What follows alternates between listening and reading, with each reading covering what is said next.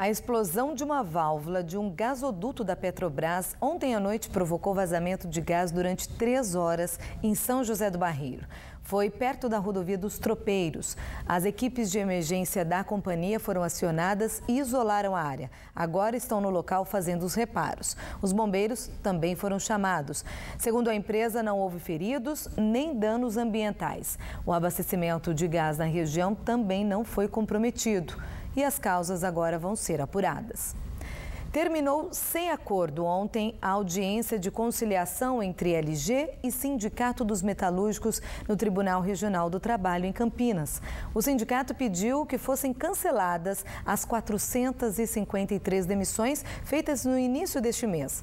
Também pediu suspensão de layoff, abertura de um programa de demissão voluntária e a adesão ao PPE. A empresa recusou e ofereceu aos demitidos um mês a mais de salário e plano de saúde por quatro meses, além de estabilidade de 90 dias para os 1.400 funcionários.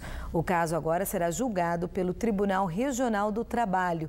Na última semana, o Band Cidade mostrou as diversas manifestações em frente à fábrica e em Taubaté por causa das dispensas. Segundo o sindicato, os trabalhadores votaram hoje de manhã pelo fim da greve.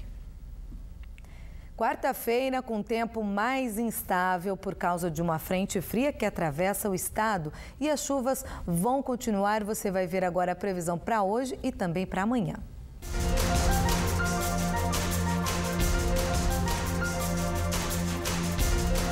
O dia será nublado, à tarde deve chover com trovoadas. Na Serra da Mantiqueira, Monteiro Lobato e Campos do Jordão marcam 24 graus. No Vale, a sensação de abafamento aumenta com altas temperaturas. Em São José dos Campos, Cruzeiro e Bananal, 30 graus. Lagoinha, 29.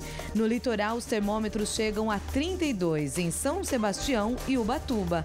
A instabilidade permanece no decorrer da semana em Caçapava. Na na quinta-feira, 28 graus.